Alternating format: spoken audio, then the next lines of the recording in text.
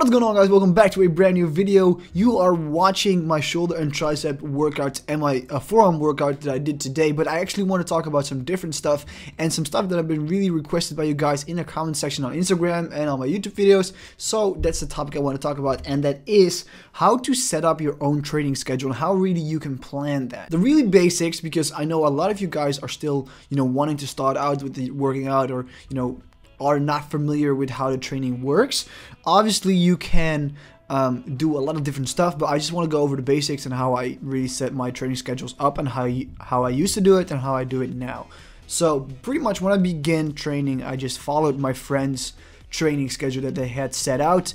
Um, it was, as you all know it as the bro split. So pretty much that would mean that you do uh, chest and tricep on Monday, back and bicep on Tuesday, Wednesday legs, Thursday shoulders, and Friday arms or something.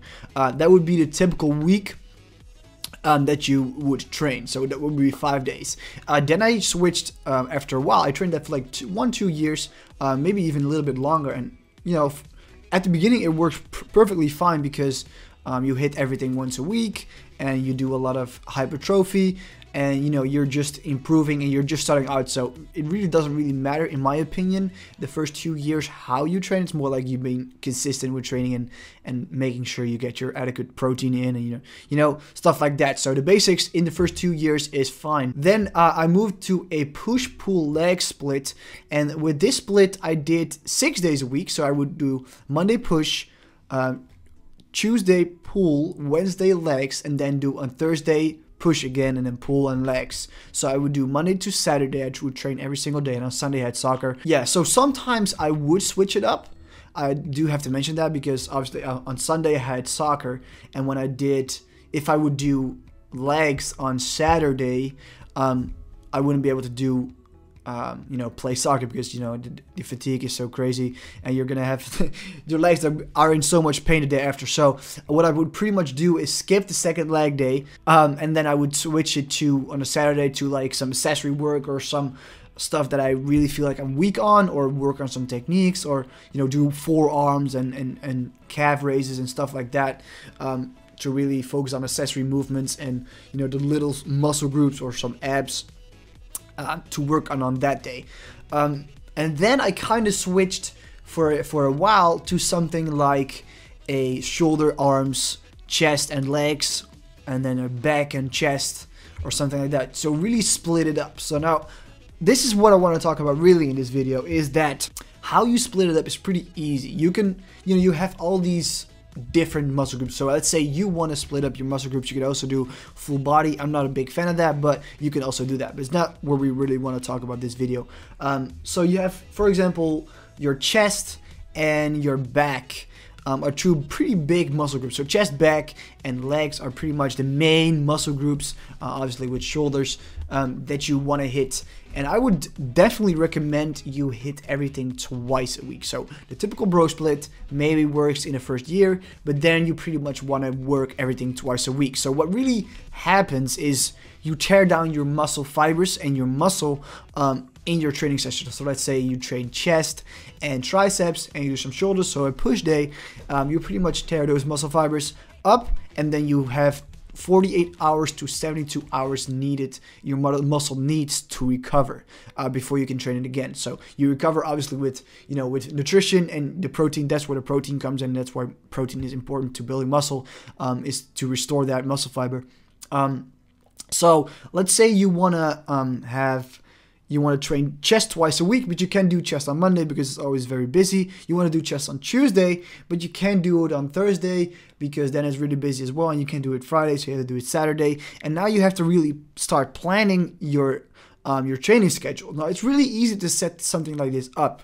You just have to see when you can train, what times you can train and how much time is between. That's pretty much the key thing here. You you don't want to be training chest on Tuesday and, and Wednesday because you know you're only going to destroy your muscle and not really going to give it time to grow. So you have to understand that your your muscles grow when you rest. So uh, not when you're training, that's when you do the work, but when you rest, you actually grow. So um, yeah, you really have to figure out your timing in the week. And let's say, for example, you only want to do four times a week, then you really have to split everything in those four week, uh, four days, and preferably with hitting everything uh, twice a week. So then you could do like upper lower split where you do all the upper body things in the first day and then the lower body second day and then take a day rest because as I said you have 48 hours to 72 hours to recover so then, for example, you could do Monday upper body and Tuesday lower body. Then on Wednesday you take rest, and then maybe Thursday you take rest, or you do the upper body and then the lower body again. And that's how you can split it. So the key thing here is if you want to set up your own training split, you can. You always have to keep in mind that um, you have 48 to 72 hours in between every single, you know, when you hit a muscle group again. Now, also, what is also really important, for example, with chest and shoulders, when you do a very heavy chest and shoulders day back to back, uh, this can also have a little bit of a problem because obviously with any push exercise, your triceps gonna get involved, uh, something of your chest is gonna be involved, and some of your shoulders always going to be involved. With bench press, that is the case. Um, you always have your tricep working. Um, with shoulder press, you always have your tricep working on lockout. So you you don't want to um, you don't want to plan those too close together as well. Um, meaning that if you do on Monday you have a very heavy chest day, you plan for example a very heavy bench press day, but Tuesday you want to do a very heavy military press day, you might not want to do that because when your tricep and chest are sore from the day before, it can really limit your training on Tuesday when you do shoulder. So um, you might want to not plan that back to back. Same goes kind of for bicep and back because obviously they work together as is. So if you want to split those up, I would recommend taking at least 24 hours between um, before you train it like again. Um, so if you do back on Tuesday, I wouldn't do bicep isolated isolated bicep movements um, only on Wednesday because you you know you kind of work that with back on Tuesday. So keep like a day between that. I would recommend that, um, and then obviously for the main muscle groups, uh, 20 uh, 70 72 hours or 48 hours in between. So it's pretty much really easy to set up.